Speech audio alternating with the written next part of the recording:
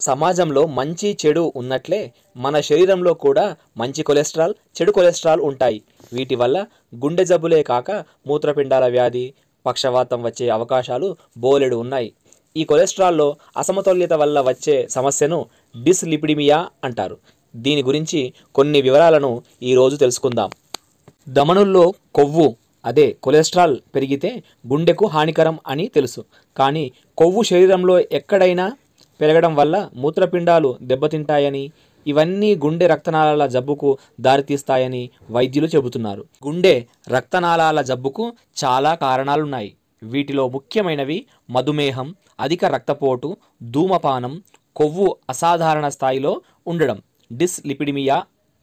శరీరంలో ఉండే కొవ్వు రకాలను లిపిడ్స్ అంటారు. కానీ ప్రధానమైన కొవ్వు రూపాలలో ఒకటి కొలెస్ట్రాల్ రెండవది ట్రైగ్లిజరాయిడ్స్. రెండు లైపో ప్రోటీన్ రూపంలో రక్తంలో ప్రవహిస్తూ ఉంటాయి.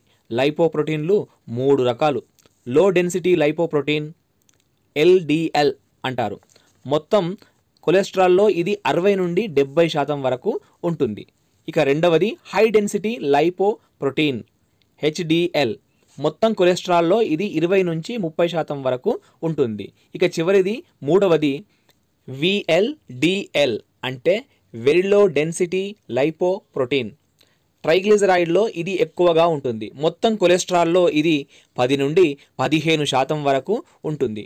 వీటిల్లో అసమతౌల్యత ఏర్పడినప్పుడు కలిగే పరిస్థితిని డిస్లిమిడిమియా అంటారు. డిస్లిమిడిమియా జన్యుపరమైన కారణాల వల్ల రావచ్చు. జీవనశైలి ప్రధానమైనటువంటి కారణము. అంతేకాదు మధుమేహం ధూమపానం కదలిక లేని జీవన విధానం స్థూలకాయం వల్ల కూడా డిస్లిపిడిమియా వచ్చే అవకాశాలు చాలా ఎక్కువగా ఉన్నాయి. అంతేకాక కొన్ని ప్రత్యేకమైనటువంటి మందులు అంటే స్టెరాయిడ్స్ హార్మోన్స్ వ్యాధులు అలాగే థైరాయిడ్ సమస్యలు కూడా డిస్లిపిడిమియాకు కారణం కావచ్చును. ఇంకా ఇప్పుడు మనం కొలెస్ట్రాల్లో చెడ్డదైనటువంటి కొలెస్ట్రాల్ అదే ఎల్డిఎల్ను గురించి తెలుసుకుందాం. శరీరంలో కొవ్వు పెరగడంలో ఎల్డిఎల్ది ప్రధానమైనటువంటి బాధ్యత.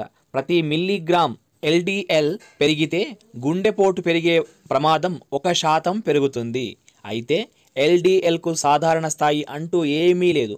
ఎల్డిఎల్ స్థాయి వంద మిల్లీగ్రాములు డిఎల్కు పెరిగినప్పుడు గుండెపోటు ప్రమాదం అధికమవుతుంది. ఇప్పటికే గుండె జబ్బు ఉన్నవారిలో ఎల్డిఎల్ స్థాయి డెబ్బై మిల్లీగ్రాములు డిఎల్ కంటే తక్కువ ఉండాలని తాజా పరిశోధనలు సూచిస్తున్నాయి. యుక్త వయస్సు నుంచే ఎల్డిఎల్ను తగ్గించుకోవడానికి ప్రయత్నించాలి. ఎల్డిఎల్ స్థాయిని పది మిల్లీగ్రాము బై డిఎల్కు తగ్గించుకుంటే నలభై ఏళ్ళ వయసు వచ్చేసరికి జీవితకాలంలో వచ్చే గుండెపోటులు ప్రమాదం యాభై శాతం తగ్గుతుంది. ఇదే స్థాయిని మెయింటైన్ చేస్తే డెబ్బై ఏళ్ళ వయసులో కూడా గుండెపోటు వచ్చే ప్రమాదం ఇరవై శాతం తగ్గుతుంది. ఎల్డిఎల్ స్థాయి నలభై మిల్లీగ్రాములు బై డిఎల్ ఉంటే సురక్షితమైన స్థితిలో ఉన్నామని అర్థం. కుటుంబంలో ఇంతకు ముందు తాతయ్య నానమ్మలు తల్లిదండ్రులకు గుండె జబ్బు చరిత్ర ఉండేవారు. తమ ఎల్డిఎల్ స్థాయి నలభై మిల్లీగ్రాముల బై డిఎల్ ఉంచుకోవడం ఎంతో సురక్షితం ఆరోగ్యం కూడా. ఇక హెచ్డిఎల్ అంటే ఏమిటో చూద్దాం. దీన్ని మంచి కొలెస్ట్రాల్ అని అంటారు. హెచ్డిఎల్ రక్తనాళాల్లోని కొలెస్ట్రాల్ను తొలగించి కాలేయానికి పంపిస్తుంది. అక్కడ కొలెస్ట్రాల్ విచ్ఛిన్నం అవుతుంది. హెచ్డిఎల్ స్థాయి తక్కువగా ఉందంటే రక్తనాళాల వ్యాధి ప్రమాదం పెరుగుతున్నట్టు భావించాలి. ముఖ్యంగా గుండె రక్తనాళాల వ్యాధి ప్రమాదం వచ్చే అవకాశాలు ఉన్నాయి. గుండెపోటుకు బలమైన కారణం ఎల్డిఎల్ పెరగడం కన్నా హెచ్డిఎల్ తగ్గడమే.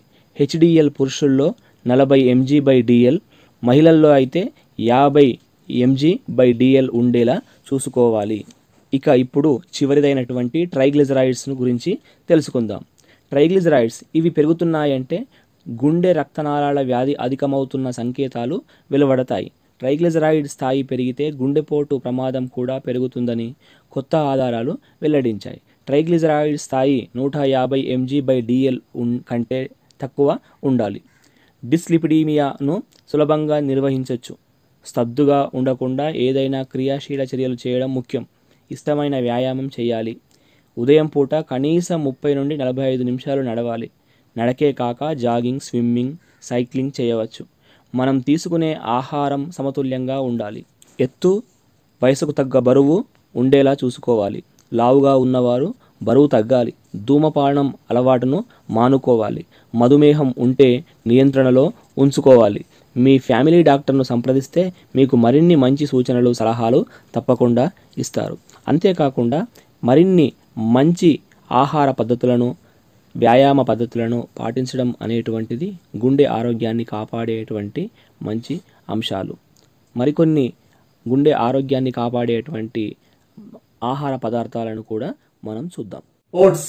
ఇవి ఎంతో రుచికరంగా ఉండడమే కాకుండా ఆరోగ్యవంతమైనవి కూడా. ఓట్స్లో ఉండే ఫైబర్ శరీరంలో ఉండే కొలెస్ట్రాల్ స్థాయిని గణనీయంగా తగ్గిస్తుంది. వెల్లుల్లిలోని ఆలిసిన్ అనే రసాయనం యాంటీ బ్యాక్టీరియల్గా పనిచేస్తుంది. అది శరీరంలోని కొవ్వును చెడు కొలెస్ట్రాల్ను చాలా వరకు తగ్గించేటువంటి గుణాలు అందులో ఎన్నో ఉన్నాయని శాస్త్రవేత్తలు చెబుతున్నారు. నేనే కొవ్వును కరిగించే ముఖ్యమైన పదార్థాలలో తేనె కూడా ఒకటి. గోరువెచ్చని నీటిలో తేనె కలుపుకొని ప్రతిరోజు తాగితే ఆరోగ్యానికి చాలా మంచిది. అది ఉదయం తాగితే మరీ మంచిది.